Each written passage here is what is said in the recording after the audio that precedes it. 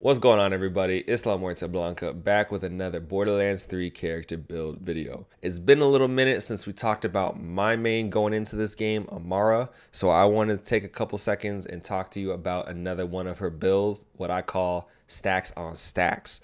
Reason why I call it stacks on stacks is because this is all about the different stacking skills that she has across all of her skill trees. All of these of which do have an impact on the action skill. So this build is not only focusing on those stacks, but this is going to be a great build if you want to focus on really taking full advantage of your action skill. The great thing about Amara that a lot of people might not know yet is very similar to some of the other sirens in the other Borderlands games. Her action skill cooldown is naturally lower than every single other character. So she'll be able to use whatever action skill you have equipped as often as possible because she already has a great cooldown. And then with this build, you're going to be buffing that action skill to the point where you might be using this more than your gun. Completely not true, but that's what it's going to feel like. Another thing that I really love about this build is there's a lot of versatility to it. So as you can see down in my equip skills, I have the skill from the Mystical Assault tree that has the element from the Fist of the Elements tree that has the augment from the Brawl tree. So I take advantage of all of these trees in the sense that you can choose whatever element you want to choose fire, shock, or corrosive. You have a number of different augments, you have a number of different skills. So based on the situation, you can essentially pick and choose how you want to attack a certain situation with an action skill. If you want to go in with with what I decided to choose for this build, the Deliverance, which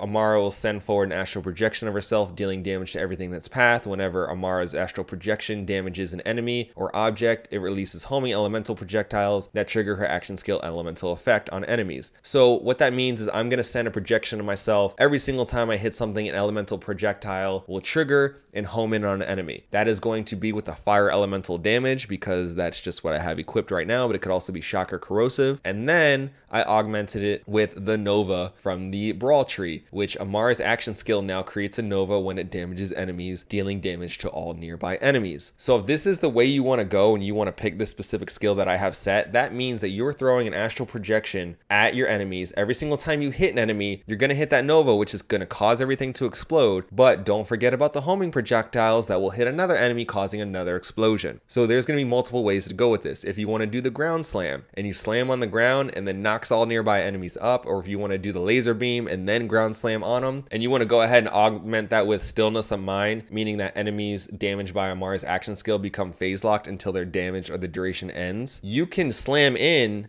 and then everyone who gets hit by that slam immediately gets phase locked. Again, using whatever element you want to use, fire, corrosive shock, up to you. This again is going to be an action skill based class that has a lot of versatility to what specific action skill you might want to use. And this is different from, for example, my Juggernaut class forces you to use the up close and personal ground slam. My World Burn class is all about the phase grasping. This has a lot of versatility to it. So if you love Amara, but you don't know which way to go with Amara in terms of her action skills, and you just kind of want to play around with some different things, this might be the way you might want to start. But diving straight into the skills themselves, we start with do harm. Killing an enemy grants Amara a stack of rush. Activating her action skill consumes all rush stacks. For every stack of rush consumed, Amara's action skill damage is temporarily increased. This is the first stack that we're going to be getting as we build out this character. When you kill an enemy, you get a rush stack, then you use your action skill, whether it be the astral projection or the slam, or even if you want to go with the phase grasp, all those stacks will be consumed, and then the damage of your actual action skill will then go up. We had an extra point as we were building out this build build, so I decided to throw one point, and I'll explain why one point in a second, into Violent Tapestry. Applying a status effect grants Amara a stack of Rush. So not only does killing an enemy apply a stack of Rush, but also applying a status effect will give us a stack of Rush. And then of course, for every stack of Rush consumed, Amara's static effect chance is temporarily increased. I only threw one point in here, and I'll tell you why. I felt some points could be better used elsewhere. As you can see, I filled up all the other stats that are going down this tree, but the one point allows us to apply rush stacks by doing status effects. So we can continue to build up those rush stacks that are going to help us get that extra action skill damage because with the maximum rush stacks that you see here, killing 10 enemies is going to be a little bit difficult in terms of waiting to use your action skill if you want to get the full effect. So now you can either kill them or you can apply a status effect to them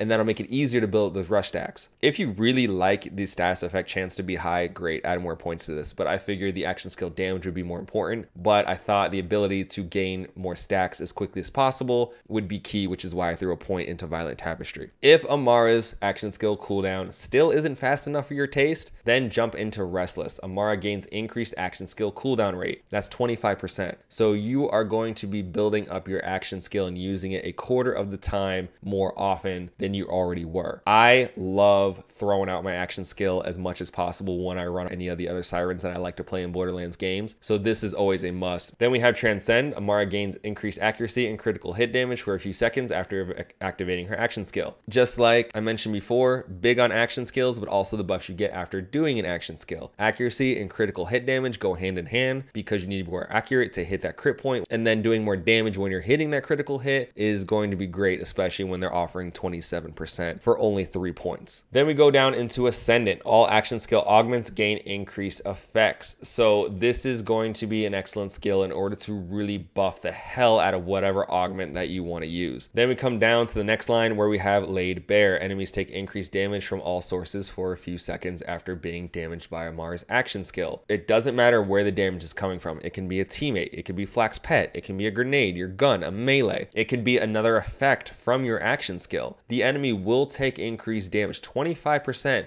increased damage after being hit by the action skill. So if you phase grasp them and then you start shooting at them, that's an extra 25%. So this is going to be a great skill for really laying into those enemies after you activate whatever that skill is. Coupled with that, we have Wrath. Amara gains increased gun damage. This effect is increased after she activates her action skill for a few seconds. So not only are the enemies taking 25% more damage after they get hit by our action skill, we're getting increased gun damage when we activate our action skill for 8 seconds. Not to mention, we also have increased accuracy and critical hit damage. So if we are accurate enough to lay into that headshot, we have the increased gun damage and then we activate our action skill to make them take even more damage. All of this is going to combo together very well, all because we activated our action skill. Then we move down into Awakening. Amara's rush stacks gain increased effectiveness. The current stacks that we have for rush, of course, are the status effect chance, which is going to help. But again, we only have one point here, so it's not that crazy. But we also have the action skill damage, which will be increased. Right now, it's four and a half per stack. Then we add awakening, which is going to be another 30%, which is actually going to help, assuming we have 10 stacks ready to go and we activate that action skill. That action skill damage is going to be pretty good once we add awakening to that. Over to remnant. When Amara kills an enemy with a gun or an action skill, she creates a homing projectile that seeks out a new enemy, dealing her action skill elemental damage. Any overkill damage is added to projectile's damage. So let's say your enemy is on its last string of health and you decide to pull out your world burn or your nukem or whatever giant rocket launcher that's in your back pocket and you just annihilate them. All of that overkill damage is then going to be going into a homing projectile, meaning you don't have to aim that into another enemy on top of the action uh, skill elemental damage that you already have, whether that be fire, corrosive, or shock based on what you have equipped here. And this goes for whenever you kill an enemy with a gun or an action skill.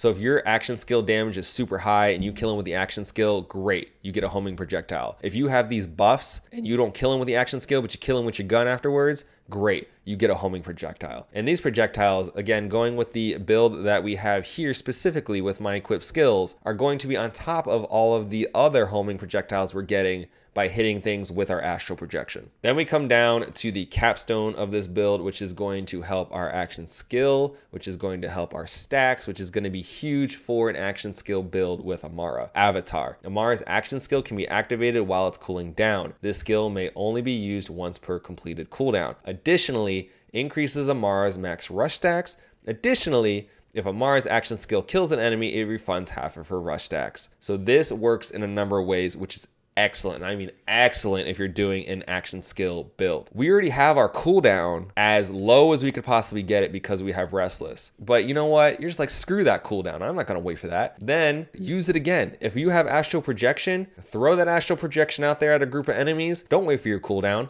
turn around and see all those enemies that are trying to flank you and throw that astral projection at them. And then you just got to wait for one single cooldown. Or if you're doing the slam, then you can slam on them, slam on them again because you didn't kill them the first time. You have the phase grasp. Grab one, grab another you don't have to worry about a cooldown anymore. Now you can only do this once per cooldown, which is fine. But because we have Restless, and because Amara's cooldown is already pretty good, it's not like you're going to be waiting very long to use it twice again, but then it gets even better. Additionally, increases Amara's max rush stacks by 10. So we're doubling the number of rush stacks that we can have. So we can go all the way up to 20 by killing enemies or by applying a status effect and then that'll increase our action skill damage. That'll increase our uh, status effect chance. That is going to be huge because we have Awakening, which is increasing the effectiveness of all those stacks. And then if we kill an enemy with an action skill, then we're getting half of those rush stacks back. So let's say we have 20 rush stacks and we worked really hard to get those 20 rush stacks. We kill an enemy with our slam or with our astral projection. Then we're starting again with 10 rush stacks. We don't have to work as hard in order to keep those rush stacks high as long as we're making sure we're killing at least one enemy with those rush stacks. Again, if you were going for a action skill focused Amara build or you don't know which way you want to go with your Amara build and you're just going to play it safe and go with her action skills, this mystical assault tree is the way you need to start 100%. Then we go into the Fist of the Elements tree, and I'll be honest with you guys, the only reason why I decided to put any points at all into the Fist of Elements tree is because in order to get the Soul Fire, which is the incendiary damage for your action skill, we needed to put at least five points into this tree. So we decided to go with Infusion, convert a portion of damage dealt by Amara's weapons into her action skill element. So 40% of our weapon damage, and let's not forget, we have the weapon damage buffs from here, and we have the damage that they're going to be taking extra from here, and we have all a bunch of other buffs that are going to be helping our damage and the critical hits and the accuracy. All of that is going to be going into our action skill element. So not a bad skill to have, but again, the main reason why we did this tree is because we wanted the option to do fire in case we run into a mob that has a giant health pool but no armor or shields. And of course, fire is the best way to take care of that type of enemy. The rest of our points we decided to throw into Brawl not only to unlock the corrosive element if we decide to go that with Blight Tiger, but also there are a number of skills here that give us additional stacks on top of more utility for our action skill. In this first line, we had to put five points somewhere in order to unlock the next level. So we went with Clarity, where Amara will constantly regenerate health, the lower her health, the more powerful the regeneration. After using an action skill, this bonus is doubled for a few seconds. So this is a great skill not only because you're just regenning health in general, especially if your health is low, you get higher health regen, but using an action skill doubles the health regen for five seconds. So this is going to be an excellent skill for keeping you alive, plus you have the bonus for after using the action skill. So after you use your action skill, at this point, guys, we have better accuracy, better crit damage, better gun damage, and now we regen health. Offensive and defensive buffs just for using our action skill. And we can use it twice now in a row, don't forget and we already have a great cooldown. So health regen will probably be pretty constant in terms of getting that doubled effect. If you want to forego that and go max health, you can go max health, but I felt the health regen would be more useful in a lot of these situations that you'll be in. Then our next stack is going to be Samsara. Whenever Amara deals damage to an enemy with her action skill, she adds a stack of Samsara. For every stack of Samsara, Amara gains increased gun damage and health regen for a few seconds. Stacks decay after a few seconds. When we use our action skill, skills. And for this build, like I mentioned, I decided to go with the astral projection that has the homing missiles, a plus the Nova, and then again, whatever element you want to choose. Another reason why I chose to do that combo between the skill and the augment is because we're getting AoEs, homing projectiles, that are also going to create AoEs, as well as a way to get a penetrating shot that will create more AoEs. So we're going to be hitting a lot of things. Every single time we deal damage, not even kill them, just deal damage to an enemy with our action skill, we're getting one of these Samsara stacks, which are going to give us more gun damage and more health regen. Duration 20 seconds. That lasts a while. Yeah, you can only have five stacks,